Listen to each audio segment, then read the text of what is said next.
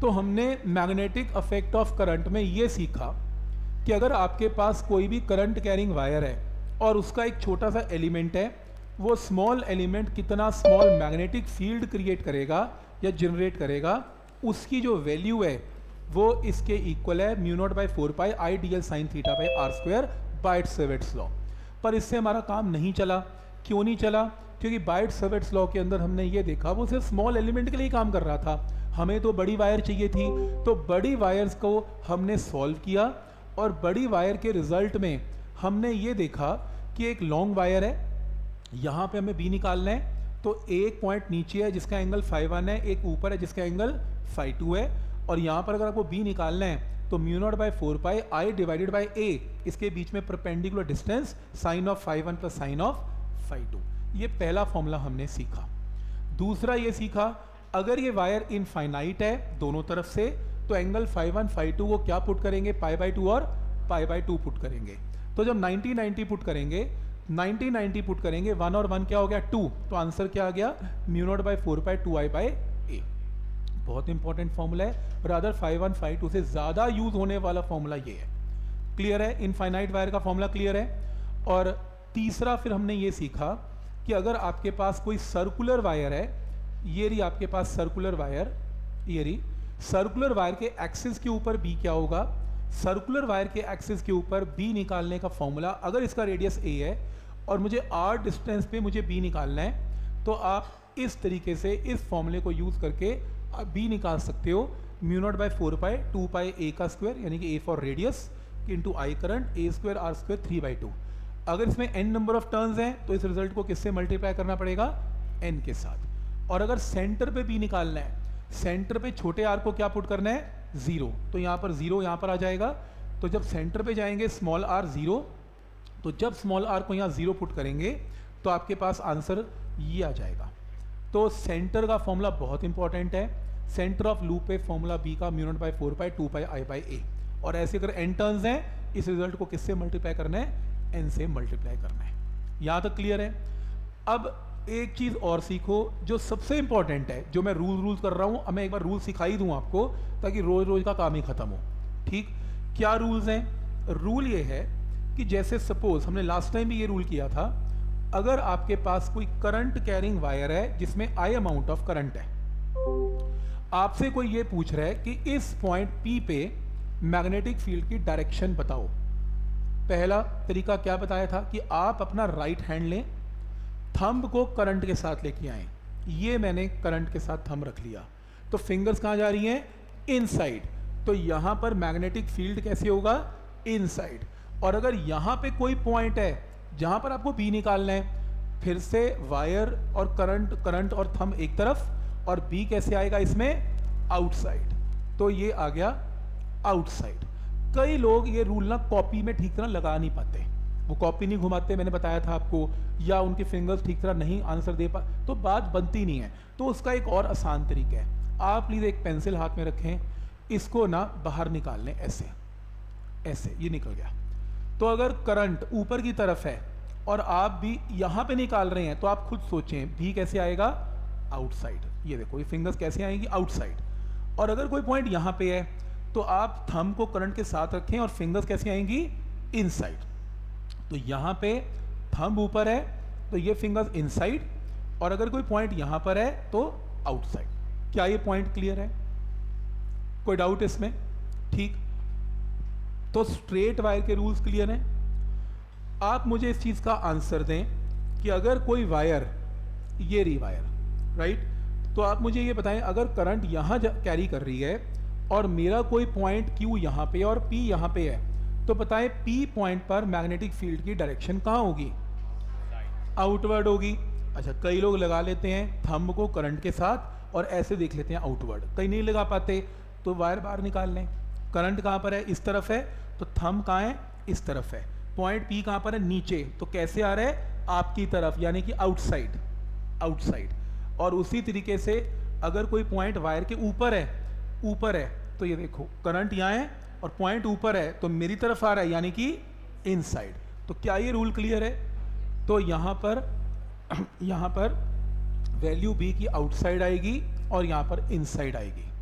ठीक है यहाँ तक? ऑनलाइन वालों को क्लियर है? Yes, Yes, sir. ठीक.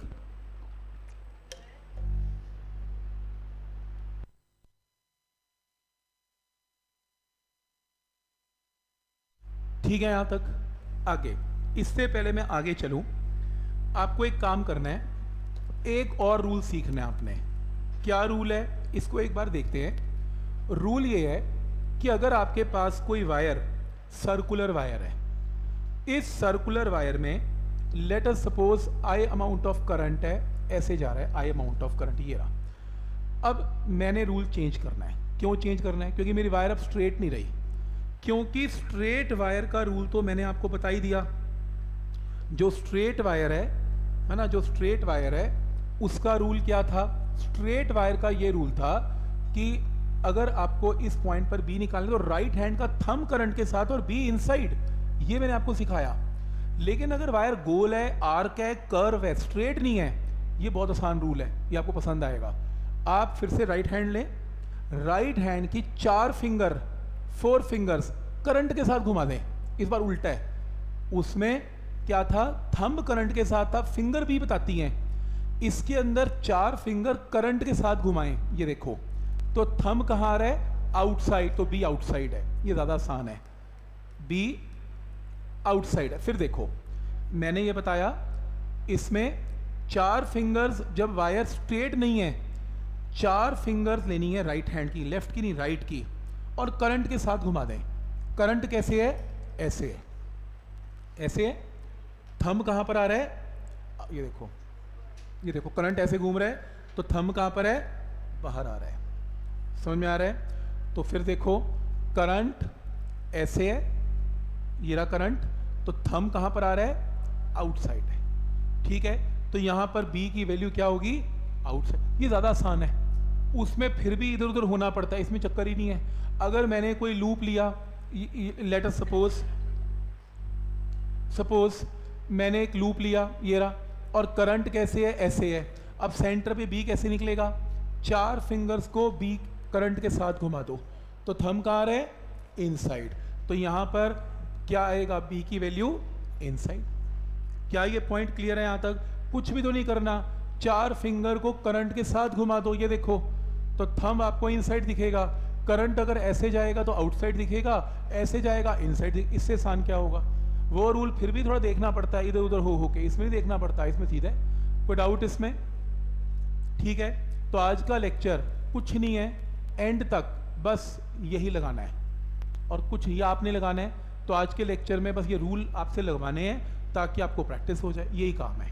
तो क्लियर है? आगे कोई टॉपिक नहीं होना आज। आज बस इसी की प्रैक्टिस होनी है। ठीक? करें स्टार्ट अब एक चीज़ और सीख लो। एक चीज़ और सीख लो। ये मान लो एक करंट कैरिंग वायर है है ना? ये करंट कैरिंग वायर है। मान लो इसका सेंटर है तो अगर मैं ये कहूँ कि करंट इसमें ऐसे घूम रहा है तो सेंटर पे बी कैसे होगा? कहाँ होगा? इस इस तरफ़ होगा। ये देखो। देख रहे हो? और उसी तरीके से अगर करंट ऐसे घूम रहा है तो बी कहाँ होगा? सेंटर पे इस तरफ़ होगा। राइट क्लियर है? अब इमेजिन करो करंट इसमें ऐसे घूम रहा है। लेकिन मेरे को बी की डायरेक्शन सेंटर में नहीं निकालनी। है ना? तो मैंने करंट को ऐसे घुमाया बी तो सेंटर पे इधर आ गया राइट मेरे को बी कहाँ ढूंढना है? मेरे को बी यहाँ पे ढूंढना है डायरेक्शन यानी कि इसके एक्सिस के ऊपर। तो अगर करंट ऐसे घूम रहा है, ये रहा और मुझे एक्सिस यहाँ पे बी की डायरेक्शन पूछ, निकालनी है रूल सेम है। जब सेंटर के ऊपर, जब करंट ऐसे घूम रहा है, जब सेंटर के ऊपर भी इधर है तो एक्सिस के ऊपर भी इधर ही होगा। फिर चाहे चाहे सेंटर में निकाल लो चाहे एक्सिस पे निकाल लो रूल विल रिमेन सेम तो जैसे अगर करंट ऐसे घूम रहा है सेंटर के ऊपर बी कहाँ होगा? इस तरफ़। और अगर एक्सिस पे जाना है तो भी कहाँ होगा? इसी तरफ़ होगा। कोई डाउट इसमें? क्लियर है? ऑनलाइन वालों को क्लियर है? Yes, Yes. ठीक है। अब जो मेरा क्वेश्चन है नेक्स्ट जिसके ऊपर मुझे रूल लगाना है वो रूल ये है वो कहता है कि दो लूप्स हैं। है ना? एक्सेस उनका सेम है। दो लूप्स हैं। जो एक लूप है, वो तीन सेंटीमीटर का है रेडियस का और एक चार सेंटीमीटर का है। इनके एक्सिस आमने सामने पड़ को एक्सिल ऐसे पड़े हुए हैं, एक के सामने एक। यहाँ पर इनके बीच में दूरी सात सेंटीमीटर है और एक पॉइंट है चार सेंटीमीटर फ्रॉम फ़र्स्ट लूप और तीन सेंटीमीटर फ्रॉम सेकेंड लूप तो चार सेंटीमीटर से के ऊपर आपको क्या निकालना है? बी निकालना है फ़र्स्ट लूप की वजह से, और चार से मतलब इस लूप की वजह से यहाँ बी निकालना है इस लूप की वजह से यहाँ बी निकालना है अब प्रॉब्लम क्या है? प्रॉब्लम ये है कि इसमें करंट गिवन है, इसमें इसका रेडियस गिवन है, ए गिवन है, इसका आर गिवन है। ऐसी इस लूप में करंट नहीं गिवन। तो आपको बताना है कितना करंट है, कि यहाँ पर कितना करंट मैं प्रोड्यूस करूँ या कितना सेंड करूँ। ए गिवन है और आर गिवन है, ताकि ओ पॉइंट पर नेट बी क्या हो जाए ज़ीरो। अब नेट भी ज़ीरो कब होता है? नेट भी ज़ीरो तब होगा जब एक लूप जैसे ये वाला लूप ले लेते हैं, ये फ़र्स्ट लूप है, इसने करंट मान लो ऐसे जनरेट किया। तो इसके चार सेंटीमीटर दूर बी की डायरेक्शन कैसे होगी? इस तरफ़ होगी। इस तरफ़ होगी। अब दूसरा लूप यहाँ पर पड़ा हुआ है। वो कह रहा है कि बताओ इसमें करंट की डायरेक्शन कैसी लें, ताकि यहाँ पर नेट भी ज़ीरो आ जाए। ऑब्वियसली ऐसी लें जब करंट ऐसे होगा तो ये अपना फ़ील्ड कैसे जनरेट करेगा? ऐसे। तो ये वाला लूप कैसे जनरेट कर रहा था? ऐसे। ये लूप कैसे जनरेट करे? मैं चाहता हूँ ऐसे, ताकि दोनों भी एक दूसरे के क्या हो? ऑपोजिट और ताकि दोनों बी की वैल्यूज़ भी सेम हो और डायरेक्शन ऑपोजिट हो, ताकि एक दूसरे को कैंसिल करके नेट आंसर क्या आ जाए? ज़ीरो तो लॉजिक समझ में आ रहा है कि अगर मान लो इसमें करंट इस डायरेक्शन में है और बी इधर प्रोड्यूस हुआ तो इसमें करंट को इस डायरेक्शन में ही प्रोड्यूस करना पड़ेगा ताकि इसका भी इस तरफ़ हो। राइट तो लॉजिक समझ so, में आया? बोलो। सर एक बार दोबारा बता दो। देखो इसके अंदर मैंने बताया ये एक लूप है और ये एक लूप है। ये जो एक लूप है इसमें करंट ऐसे है। तो बी कैसे होगा मेरी तरफ़? बी कैसे होगा मेरी तरफ़? तो वो कह रहे हैं कि बताओ इसमें करंट की डायरेक्शन क्या रखूँ ताकि इसी पॉइंट पर नेट भी ज़ीरो आ जाए। अब देखो ना, ये जो लूप है, ये जो लूप है, अगर बी ओ पॉइंट पर कैसे जनरेट करती है, ये जो लूप है ओ पॉइंट पर अगर यहाँ भी जनरेट करती है तो ये जो लूप है, मैं चाहता हूँ करंट ऐसे जाए ताकि बी यहाँ जनरेट करे। तो इसमें करंट अगर ऐसे है तो बी ऐसे है। तो इसमें करंट अंदर जाएगा तो भी इधर होगा, ताकि मैं ये चाहता हूँ कि दोनों बी की वैल्यू इक्वल हो जाए और नेट आंसर क्या आ जाए? ज़ीरो नेट क्यों ज़ीरो आए? क्योंकि क्वेश्चन में मेंशन है कि net answer should be equal to zero तो क्या ये लॉजिक क्लियर है? ठीक. तो अब मुझे क्या करना है? मुझे बी वन निकालना है, मुझे बी टू निकालना है और दोनों को इक्वेट करना है ताकि नेट आंसर क्या आ जाए? ज़ीरो तो मैंने इसमें क्या किया? इसके अंदर पहले मैंने फ़र्स्ट लूप लिया। फ़र्स्ट लूप में ए पता है और आर पता है और आई पता है। तो मैंने इसमें फॉर्मूला लगा दिया यही वाला, जो ऊपर हमने निकाला था। ए पता है आर पता है ए पता है। तो ये फॉर्मूला मैंने लगा दिया कि चार सेंटीमीटर दूर यहाँ पर बी क्या होगा। आ गया। फिर इस लूप की बारी आई। इस लूप ने भी यहाँ बी जनरेट किया। इसका ए कितना है? फोर इसका आर कितना है? थ्री लेकिन मुझे इसका करंट नहीं पता।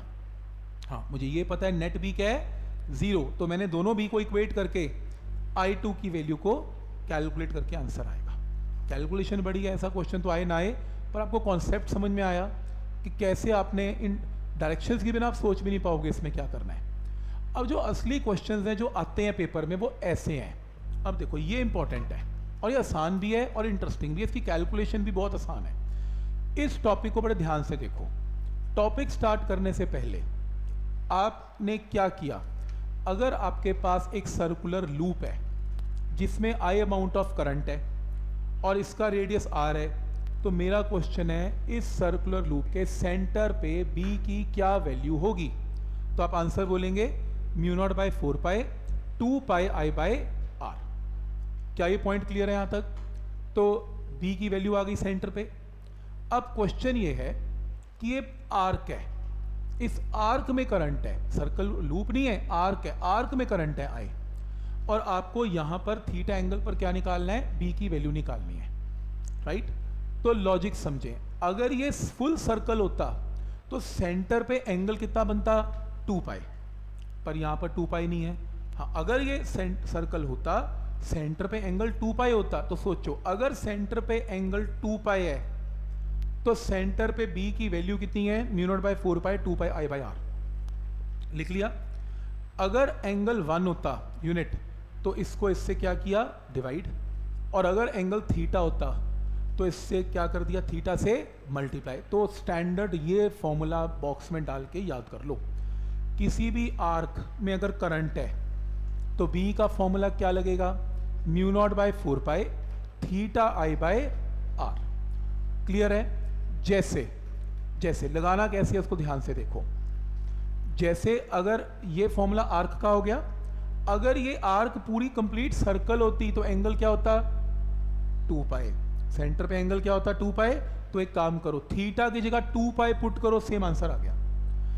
अगर ये आर्क सेमी सर्कल होती तो सेंटर पे एंगल क्या होता? पाए तो थीटा को पाए पुट कर दो आंसर आ गया. अगर ये आर्क ने सेंटर पे एंगल बनाया पाए बाय फोर तो बी के फॉर्मूले में थीटा की जगह पाए बाय फोर अब कोई भी आर्क आ जाए स्ट्रेट लाइन ना आए हमें एंगल ढूंढते जाना है वैल्यू पुट करते जानी है आंसर आ जाएगा। डायरेक्शंस का रूल सेम है। अगर इसमें डायरेक्शन पूछी जाए बी की तो क्या करेंगे? चार फिंगर ये स्ट्रेट वायर नहीं है। चार फिंगर करंट के साथ तो बी कैसे आएगा? इनसाइड सेम रूल इसमें। चार फिंगर करंट के साथ तो बी कैसे आएगा? इनसाइड सेम रूल इसमें। चार फिंगर करंट के साथ तो बी कैसे आएगा? इनसाइड सेम रूल इसमें। चार फिंगर करंट के साथ तो बी कैसे आएगा? इनसाइड राइट और ये मैंने रिवाइज करवाने के लिए लिखा हुआ है, ताकि आप भूल ना जाएँ। डायरेक्शंस का रूल अब हमने दो सीख लिए। पहला स्ट्रेट वायर है। अगर कोई स्ट्रेट वायर है करंट ऊपर जा रहा है, और मैं अगर आपसे पूछूँ कि यहाँ पर बी की डायरेक्शन क्या होगी तो आप थंब को करंट के साथ लेके जाएँगे, और बी कैसे होगा? इनसाइड और यहाँ पे करंट थंब के साथ है, यहाँ पर बी कैसे होगा? आउटसाइड रूल क्लियर और अगर सर्कल होगा सर्कल के अंदर करंट, चार फिंगर करंट के साथ तो बी कैसे होगा? इनसाइड ऐसे इसमें कैसे होगा? आउटसाइड तो ये रूल इसलिए बार बार लिखे जा रहे हैं डायरेक्शन के, ताकि बार बार रिवीजन के टाइम पे आपको पता लगता रहे हमने क्या किया। क्लियर है? तो जितना लेक्चर हमने किया, इसके बेस पे आज के अब न्यूमेरिकल स्टार्ट है। तो पहला न्यूमेरिकल है, आपको ये एक फिगर गिवन है। आपको इस फिगर में करंट गिवन है। आपको इसके सेंटर ओ पे नेट बी की वैल्यू बतानी है, क्या होगी? ठीक? तो ये करंट आया स्ट्रेट फिर ये क्या हुआ? सेमी सर्कल फिर ये क्या हुआ? Straight straight semi circle straight आपको कहाँ पे बी निकालना है? ओ पॉइंट पे. ठीक?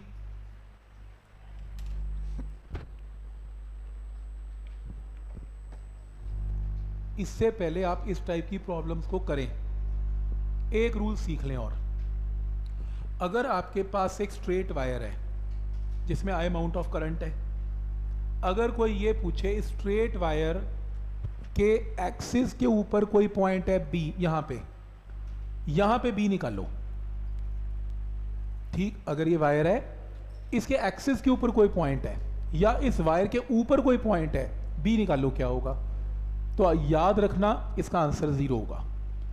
क्योंकि एंगल बनेंगे ही नहीं, ना फाइव वन बनेगा, ना फाइव टू बनेगा zero zero sine zero plus sine zero क्या हो जाएगा? ज़ीरो ही होगा। तो आपने ज़ीरो बोलना है। तो अगर कोई स्ट्रेट वायर है स्ट्रेट वायर के ऊपर कोई पॉइंट है तो तो ज़ीरो रादर उसके एक्सिस पे भी कोई पॉइंट है तो भी आंसर ज़ीरो ही होगा। तब अब आप इस क्वेश्चन को एक बार देखें कि इस वायर में जो क्वेश्चन है उसमें वायर के तीन हिस्से कर लें। Straight wire curved wire and again straight wire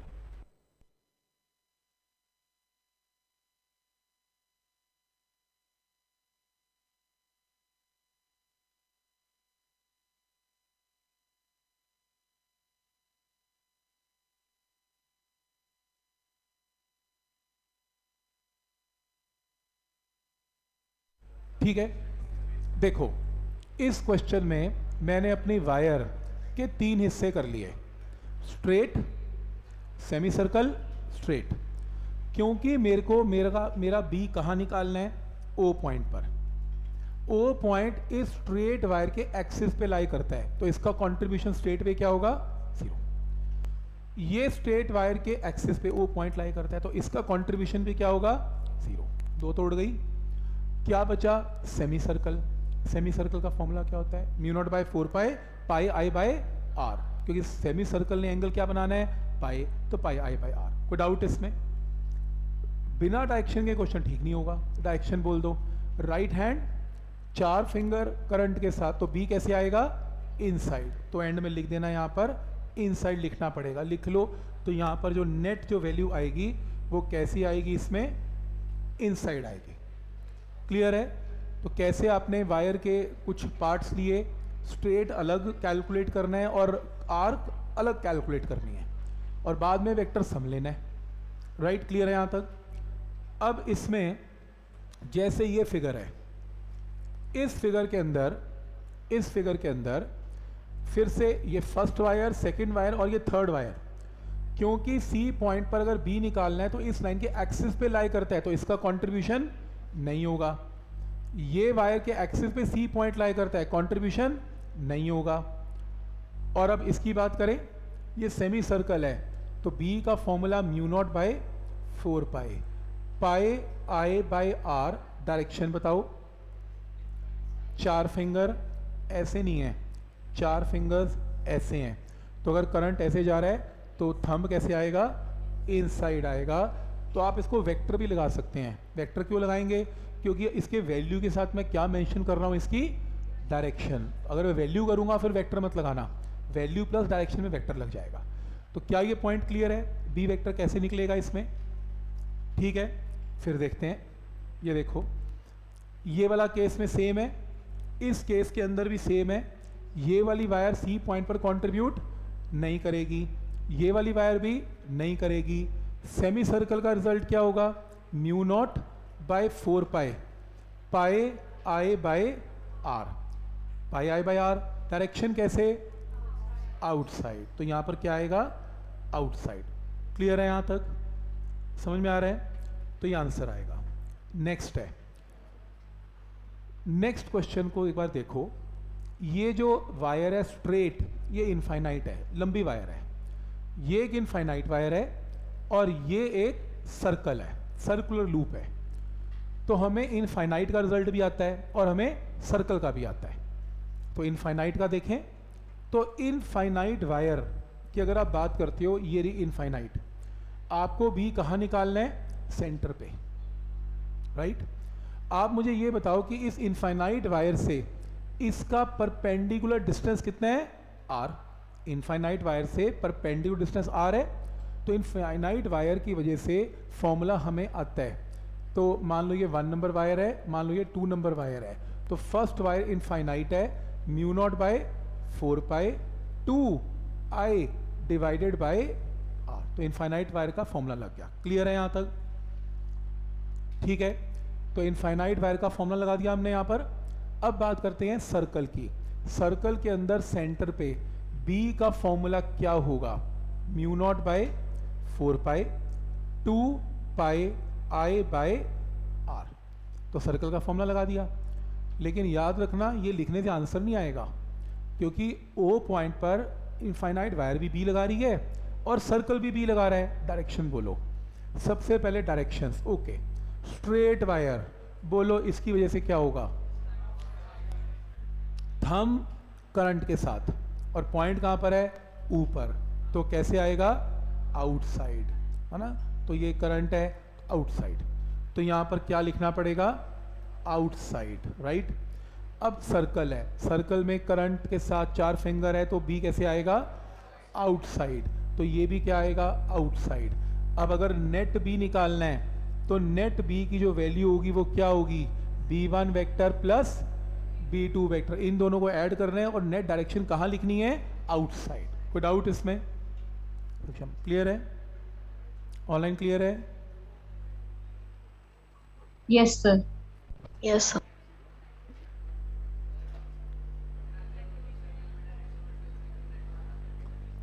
अगर मान लो सर्कल में सर्कल में लेनी है कि किसमें? सर्कल में अगर करंट ऐसे होता तो फिर ये डायरेक्शन कैसे होती? इनसाइड फिर एक होता आउटसाइड एक होता इनसाइड तो फिर बड़ी वैल्यू में से छोटी वैल्यू को माइनस करना पड़ना था, फिर प्लस नहीं होगा। अगर सेम डायरेक्शन में भी है तो ऐड है, और अगर ऑपोजिट है तो फिर बड़ी में से छोटी माइनस राइट अगर एक वैल्यू बी आउटसाइड है और एक इनसाइड है ज़ीरो ना होता, क्योंकि दोनों की बी की वैल्यू में डिफरेंस है ना। ज़ीरो तब होता है जब अंदर और बाहर का बी की मैग्नीट्यूड सेम है। सर्कल का और इनफाइनाइट वायर का तो मैग्नीट्यूड डिफरेंट है। तो बड़े में से छोटा माइनस करना पड़ेगा। ठीक? नेक्स्ट क्वेश्चन ट्राई करें। लिखें वैल्यू क्या होगी?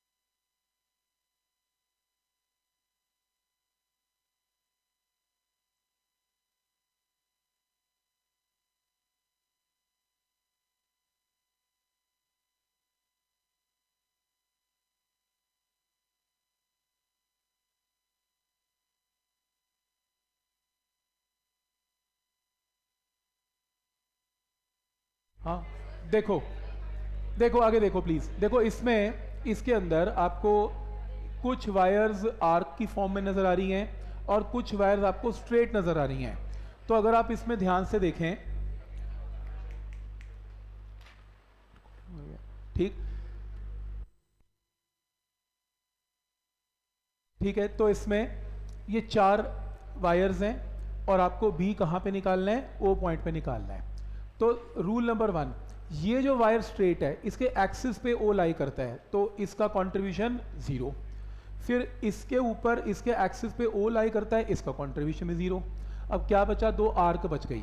पहली आर्क ऑफ़ रेडियस क्या? ए और दूसरी ऑफ़ रेडियस बी तो पहली आर्क वायर नंबर वन का फॉर्मूला क्या बनेगा? Mu naught by four pi theta I theta कितने एल्फा आई बाय रेडियस कितने ए तो ये क्या आ गया? बी वन आ गया। उसी तरीके से B2 B2 will be equal to mu naught by four pi alpha I divided by कितना? B कोई डाउट इसमें? ठीक है? तो अल्फ़ा क्योंकि चाहे छोटी आर्क है, उसने भी एंगल एल्फा लगाया, बड़ी आर्क ने भी एंगल एल्फा लगाया। अब जो छोटी आर्क है, उसका करंट कैसे है? ऐसे है है ना? तो बी कैसे होगा? आउटसाइड तो यहाँ पर लिख लेते हैं आउटसाइड इस केस में करंट ऐसे जा रहा है तो बी कैसे होगा? इनसाइड तो एक आउटसाइड और एक इनसाइड क्लियर है यहाँ तक? अब मुझे ये बताओ कि कौन सी बी की वैल्यू बड़ी है? बी वन बड़ा है। क्यों? उसका रेडियस छोटा है। रेडियस छोटा है तो बी बड़ा है। तो नेट बी की जो वैल्यू आएगी, वो क्या आएगी? B one minus B two तो आप इन दोनों को माइनस कर लें। एल्फा और आई कॉमन आ जाएगा। One by A minus one by B क्योंकि बी वन बड़ा है और ये आउटसाइड है तो नेट आंसर भी क्या लिखना पड़ेगा? आउटसाइड। क्या ये पॉइंट क्लियर है यहाँ तक कि कैसे सोचना है इसमें? सर। ठीक। राइट? तो ये इसका आंसर है। सर। फिर से रिपीट कर देता हूँ एक बार। देखो ये एक बार स्ट्रेट वायर है, इसका कंट्रीब्यूशन ओ पे ज़ीरो स्ट्रेट वायर है ओ पे कंट्रीब्यूशन ज़ीरो ये एक आर्क है आर्क ने एंगल एल्फा बनाया तो बी की value mu naught by four pi alpha I by A और सेम आर्क ने एंगल बनाया यहाँ पर एल्फा सेम तो mu naught by four pi alpha I by again radius कितना है? बी पर क्योंकि ए रेडियस छोटा है बी बड़ा है तो ए छोटा है तो बी वन बड़ा है। बी बड़ा है तो बी टू छोटा है। तो बी वन बड़ा है बी टू छोटा है नेट वैल्यू क्या होगी? बड़ी में से छोटी वैल्यू को क्या कर देना है? माइनस तो क्या ये पॉइंट क्लियर है? ठीक? ऑनलाइन क्लियर है? यस ठीक? नेक्स्ट क्वेश्चन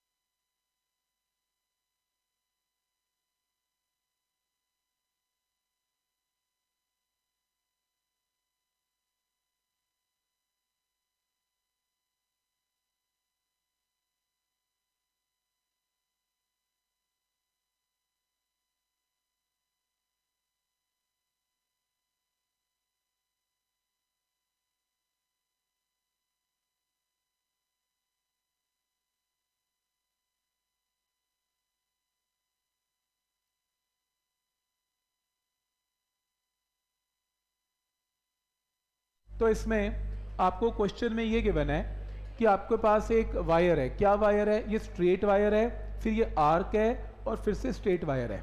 आप इसको तीन हिस्सों में बांट लो। Wire number one wire number two wire number three तो रूल नंबर वन जब मैं स्ट्रेट वायर की बात करता हूँ तो ये स्ट्रेट वायर के एक्सिस पे ये ओ पॉइंट लाई करता है तो इसका कंट्रीब्यूशन बी में ज़ीरो उसी तरीके से ये स्ट्रेट वायर है ओ पॉइंट है तो इसका कंट्रीब्यूशन भी ज़ीरो अब ये जो बड़ी आर्क है, उसने सेंटर पे क्या एंगल बनाया? ये एंगल अगर 90 है तो ये एंगल क्या बनेगा? 360 सिक्सटी माइनस नाइनटी यानी कि 270 और 270 को लिखते हैं 3 पाई बाई 270 पुट नहीं करते 3 पाई बाई टू तो बी का फॉर्मूला उस ऊपर वाली आर्क की वजह से mu naught by four pi theta की जगह three pi by two current by कितना? आर तो ये फॉर्मूला बनेगा थीटा आई बाई आर और थीटा में three pi by two put करना पड़ेगा जो कि 270 डिग्री होता है। तो डायरेक्शन, करंट की डायरेक्शन में चार फिंगर तो बी कैसे आएगा? इनसाइड तो B inside answer right clear है यहाँ तक? तो दोनों रूल समझ में आ रहे हैं। इसलिए आज का लेक्चर यही रखा गया है ताकि आप अच्छे से रूल्स को प्रैक्टिस करें, क्योंकि मैंने खुद ही कहा था कि इसके बिना बात बनेगी नहीं। तो बेटर है कि हम आज के लेक्चर में रूल्स ही प्रैक्टिस करें ताकि आपकी थोड़ी कमांड बैठे क्वेश्चन पे और आने वाले टाइम में दिक्कत ना आए। राइट जैसे ये क्वेश्चन है। इस क्वेश्चन में ये मान लो इनफाइनाइट वायर है, ये इन्फिनिटी से आ रही है, यहाँ पर आती है। तो स्ट्रेट वायर यहाँ से यहाँ तक है। उसके बाद क्या है? उसके बाद एक सर्कल है। उसके बाद फिर से स्ट्रेट वायर है इन्फिनिटी तक जाती है। आपको ओ पॉइंट पर नेट बी बताने क्या होगा। इससे पहले आप इस क्वेश्चन को करें। आप एक रूल समझ लें। ये एक इनफाइनाइट वायर है एक तरफ़ से। दूसरी तरफ़ से ये यहाँ पर रुक जाती है। तो दूसरी तरफ़ से ये इनफाइनाइट नहीं है। और आपको भी कहाँ निकालना है? यहाँ पे निकालना है at a distance of a तो ये दोनों तरफ़ से अगर इन्फिनिटी होती तो ऐसी दिखती आपको। ऐसी दिखती। और अगर ऐसी दिखती दोनों तरफ़ से इन्फिनिटी तो बी का फॉर्मूला होता mu naught by four by two I by a लेकिन ये यहाँ पर तो है नहीं। और ये भी सुन लो अगर ये यहाँ से फाइनाइट होती तो मैं एक एंगल ढूंढता यहाँ से फाइव वन और हाँ एक तरफ़ से इनफाइनाइट है तो एंगल क्या आएगा? पाई बाई टू तो ये केस बनता। पर ये भी केस नहीं है। मेरे को ये वाला डायग्राम गिवन ही नहीं है। वायर है ही नहीं तो ऑब्वियसली एक एंगल फाइव वन क्या हो जाएगा यहाँ से? ज़ीरो जब ये वायर कंटिन्यू नहीं कर रही यहाँ पे तो इस परपेंडिकुलर डिस्टेंस के इधर एंगल ही नहीं बनेगा तो एक एंगल क्या होगा? ज़ीरो और एक क्या बनेगा? Pi by two. ये रूल समझ में आया? तो बी का फॉर्मूला क्या बनेगा? Mu naught by four pi I by a sine zero, क्योंकि यहाँ वायर है ही नहीं, और साइन ऑफ़ 90 ये फॉर्मूला आपको काम आएगा यहाँ पे। कैसे? इनफाइनाइट वायर है, यहाँ तक है, और आपको भी यहाँ निकालना है। बिल्कुल सेम डायग्राम मैंने यहाँ ड्रॉ किया। इसमें और इस वायर के रिज़ल्ट में कोई फ़र्क नहीं है। क्लियर है? तो आप क्या करेंगे? पहले वायर नंबर वन लेंगे, फिर वायर नंबर टू लेंगे, फिर वायर नंबर थ्री लेंगे, फिर वायर नंबर फोर लेंगे। काफ़ी लोग ये सोच रहे होंगे, ये थ्री और टू और थ्री क्यों कर दिया? ये तो सर्कल है। सर्कल का स्ट्रेट वे फॉर्मूला लग सकता है कि नहीं लग सकता? लग सकता है। कितना? Mu naught by four by two I by a कि नहीं लग सकता? नहीं लग सकता, क्योंकि ऊपर से आता हुआ करंट आधा आधा डिवाइड हो गया। इधर से आधा, इधर से आधा हो गया। वो फॉर्मूला सर्कल का तब लगता है जब पूरे सर्कल में एक करंट होगा आई या क्लॉकवाइज या एंटी क्लॉकवाइज इसमें ऐसे थोड़ी ना है कि आधा इधर आधा इधर, फिर ये सेमी सर्कल और सेमी सर्कल लगेगा।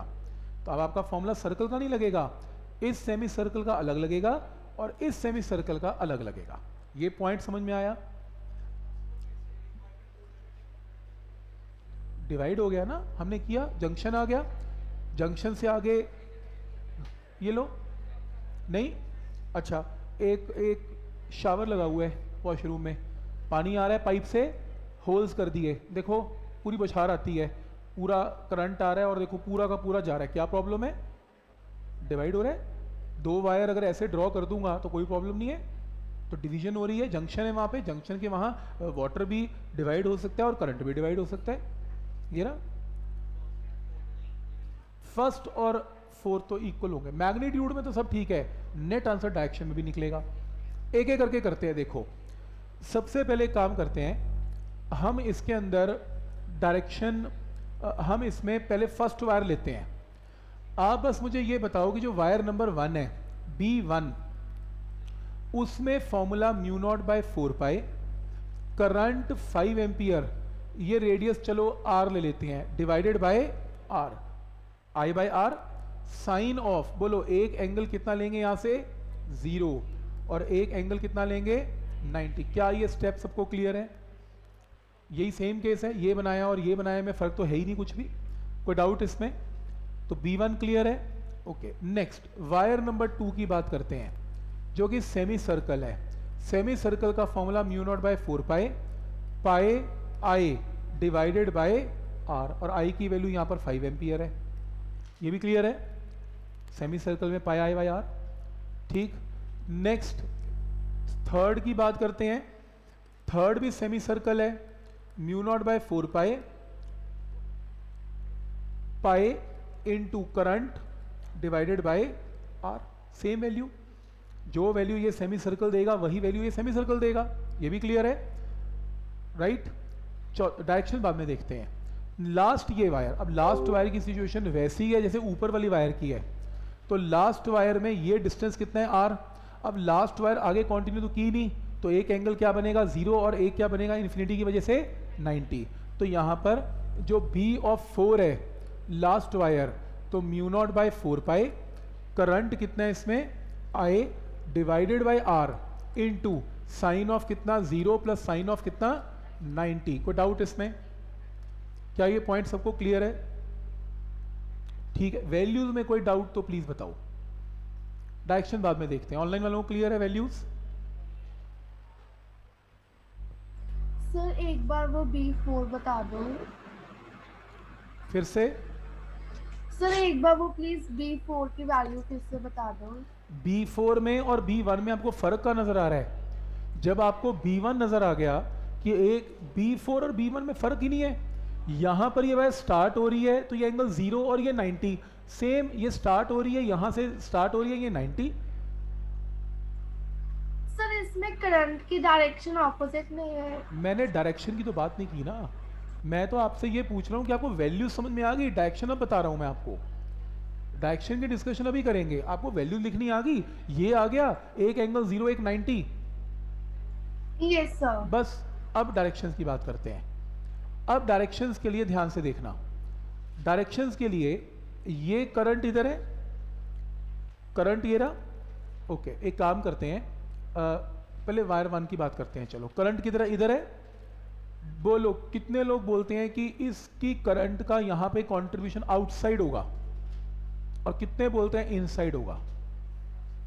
अच्छा एक काम करो। ये रहा ये वायर है। आप प्लीज़ वायर को पहले बोर्ड के बाहर निकाल लो। ये आ गई बाहर। ये बाहर है करंट इधर आ रहा है, मानते हो? पॉइंट कहाँ पर है? नीचे है।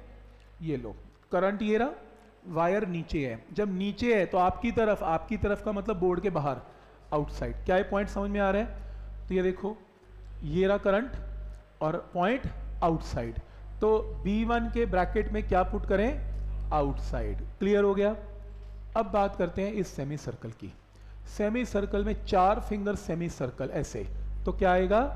आउटसाइड लेकिन साथ ही साथ ये सेमी सर्कल में, इस सेमी सर्कल के अंदर क्या होगा? करंट इनसाइड मैंने गलती की, मैं इसको करेक्शन कर रहा हूँ। यहाँ से पाँच एम्पियर करंट आया था, फिर वो डिवाइड हो गया था तो मुझे यहाँ लेना चाहिए five by two and five by two ताकि टोटल करंट फाइव आए। तो ध्यान से तो मैंने यहाँ पर फाइव बाई टू लिया तो मुझे यहाँ पर ना फाइव बाई टू और यहाँ पर भी फाइव बाई टू लेना चाहिए। क्योंकि पाँच पाँच तो फिर द, दस हो गया ना। तो पाँच आया था आधा इस वायर में आधा इस वायर में क्योंकि गोल नहीं घूमा ना आधा आधा गया। तो five by two five by फ़र्क कोई नहीं पड़ा क्योंकि इसने प्रोड्यूस किया आउटसाइड और इस सेमी यहाँ पे लिख लेते हैं आउटसाइड यहाँ पे B2 ने ध्यान आगे इसने कैसे जनरेट किया आउटसाइड तो इसने क्या जनरेट किया? इनसाइड देखो ना इसमें करंट ऐसे जा रहा है तो इनसाइड अब देखो ना ये फ़ायदा ही नहीं हुआ लेके। क्यों? क्योंकि ये जितना आउटसाइड जनरेट करेगा, ये उतना ही इनसाइड जनरेट करेगा और वैल्यू भी सेम है। तो आप, इनका जो अफेक्ट है आपस में क्या हो जाएगा? तो ये तो लेने का फ़ायदा ही नहीं हुआ अब लास्ट ये बताओ, इस वायर की वजह से बी की डायरेक्शन क्या होगी? ये रहा करंट और बी कैसे होगा? आउटसाइड ये रहा करंट तो बी कैसे होगा? आउटसाइड तो यहाँ पे क्या लिखेंगे? आउटसाइड अब बी वन कैसे है? आउटसाइड B2 कैसे है? आउटसाइड दो कैंसल हो गए. नेट बी क्या होगा? इन दोनों को ऐड करेंगे नेट आंसर आउटसाइड क्लियर है यहाँ तक? ऑनलाइन वालों क्लियर है? Yes, sir. ठीक. नेक्स्ट नेक्स्ट के अंदर आपको चार वायर्स गिवन है ध्यान से. इधर ध्यान से देखना. फ़र्स्ट वायर ये मैंने बड़ी आर्क ले ली। दूसरी वायर ये स्ट्रेट ले ली। तीसरी ये स्ट्रेट ले ली। चौथी ये ले ली। अब ये जो ओ पॉइंट है वो इस वायर के एक्सिस पे लाई करता है। तो इसका कंट्रीब्यूशन क्या होगा? ज़ीरो इस वायर का कंट्रीब्यूशन क्या होगा यहाँ पर? ज़ीरो ठीक है यहाँ तक ज़ीरो एंड ज़ीरो अब इस, आर्क ने सेंटर पे एंगल क्या बनाया? अल्फ़ा तो दूसरी वाली आर्क ने क्या बनाया? टू पाए माइनस एल्फा तो एंगल्स भी क्लियर है। अब नेक्स्ट क्या करना है? वायर नंबर वन का कंट्रीब्यूशन लिख देते हैं। वायर नंबर वन में mu naught by four pi theta theta कितने two pi minus alpha theta I divided by R one theta I by R right clear है? और ऐसी अगर बी टू की वैल्यू की बात करें, पहले वैल्यू वैल्यू लिख रहे हैं डायरेक्शन बाद में देखते हैं। एंगल कितना है इसका? Alpha into I divided by radius कितना है? आर टू अब एक बात बताओ, इसमें इसमें करंट के साथ चार फिंगर है तो बी कैसे होगा? इनसाइड चार फिंगर ऐसे हैं इनसाइड और इसके अंदर भी चार फिंगर करंट के साथ है तो बी कैसे होगा? इनसाइड तो दोनों के दोनों कैसे हैं? इनसाइड एंड इनसाइड तो नेट बी की वैल्यू में दोनों की दोनों वैल्यूज़ को ऐड करके नेट आंसर भी किस तरफ़ होगा? इनसाइड तो मेथड समझ में आ रहा है सबको यहाँ तक? ठीक है? जैसे ये क्वेश्चन है। इस क्वेश्चन के अंदर एक स्ट्रेट वायर है और एक आर्क है। चेक करो।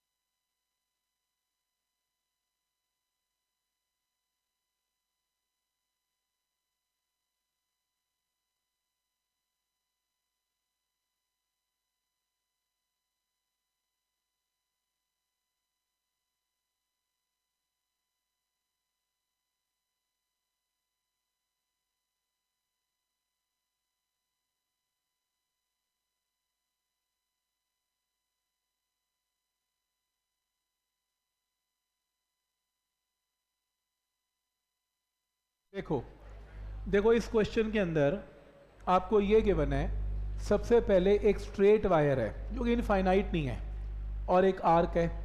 आर्क ने, क्योंकि इसने एंगल 90 बनाया तो यहाँ पर क्या बना? 270 का मतलब 3 पाई बाई टू तो जो ये वायर दिख रही है आपको, ये एक फाइनाइट वायर है। इसने सेंटर पे क्या एंगल बनाया? टोटल 90 अब हमें, क्योंकि स्ट्रेट वायर का रिज़ल्ट निकालना है तो आधा आधा एंगल क्या होगा? 45 एंड 45 तो एक एंगल क्या होगा? 45 दूसरा भी क्या होगा? 45 तो 5 वन फाइव टू आ गया। तो जो स्ट्रेट वायर है, उसका रिज़ल्ट क्या होगा? जो स्ट्रेट वायर है ए बी इसका रिज़ल्ट होगा mu naught by four pi current I divided by ये डिस्टेंस कितना है? A sine of 45 plus sine of 45 क्या स्टेप क्लियर है? क्योंकि एक फाइव वन एक फाइव टू इनफाइनाइट का केस ही नहीं है। टोटल एंगल 90 था आधा आधा हो गया 45 45 ठीक है यहाँ तक? डायरेक्शन बताओ साथ साथ इनसाइड चेक करें, क्योंकि करंट इस तरफ़ जा रहा है, ये रहा। तो पॉइंट ऊपर है तो फिंगर कैसे जाएँगी? चार इनसाइड तो यहाँ पर क्या आएगा? इनसाइड राइट क्लियर है?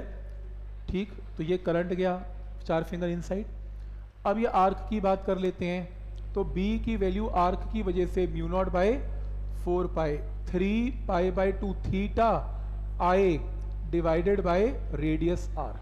Direction बोलो। चार फिंगर ऐसे तो ये भी कैसे? इनसाइड। तो इनसाइड इनसाइड में दोनों वैल्यूज़ को एंड में क्या करना पड़ेगा?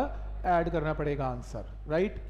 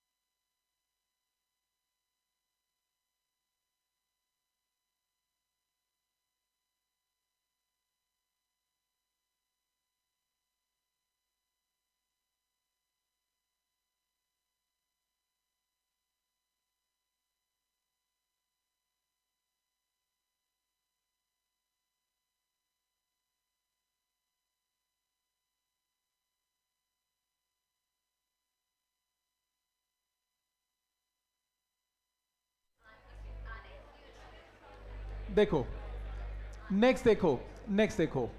ये क्वेश्चन एक बार चेक करो प्लीज़ इस क्वेश्चन के अंदर दो रिंग्स हैं। दो रिंग्स हैं, एक हॉरिजॉन्टल प्लेन में है और एक वर्टिकल प्लेन में है। और आपको बी कहाँ निकालना है? इनके सेंटर पे निकालना है। नेट बी क्या होगा? अच्छा ऐसे करेंगे। अगर ऐसे देखोगे, मुश्किल होगी। ये लो, ये रिंग ले आता हूँ मैं। एक रिंग कैसी है? हॉरिजॉन्टल है, ऐसी है। तो ये रिंग है। इसमें करंट कैसा है? ऐसा है। है ना? ये देख रहे हो? करंट ऐसे जा रहा है। तो ये मैंने इसको बाहर निकाला, ये करंट है। तो बी कैसे होगा? अपवर्ड कोई डाउट इसमें?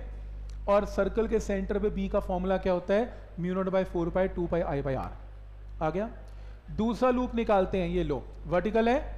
ये मैंने बोर्ड से बाहर निकाल लिया। करंट कैसे है? ऐसे है। ये करंट है। क्लियर है यहाँ तक?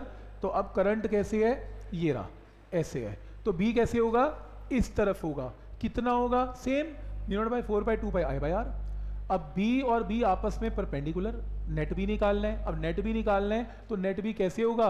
वेक्टर सम दोनों बी में एंगल कितना है? 90 तो आंसर क्या आएगा? Under root of B one square plus B two square तो आंसर आ गया ये देखो पुट कर द आंसर आ गया। अब क्योंकि नेट भी द वेक्टर अगर वेक्टर है तो यहाँ पर एंगल भी ढूंढना पड़ेगा। तो tan थीटा क्या होगा? अगर ये बी ऑफ़ पी है तो ये भी b ऑफ़ p है और ये b ऑफ़ q है तो tan थीटा क्या होगा? दिस अपॉन दिस अब क्योंकि दोनों b की मैग्नीट्यूड तो सेम ही है तो एंगल क्या आएगा? 45 डिग्री इस आंसर ठीक? तो ऑनलाइन वालों को क्लियर है? यस सर मेंस में आई हुई प्रॉब्लम है ये. ऐसी आती हैं. और क्या? ऐसी आनी है और क्या? कहीं मेन उड़ के तो कुछ और तो ना बना के देगा. ऐसे ही देगा और क्या देगा? ठीक?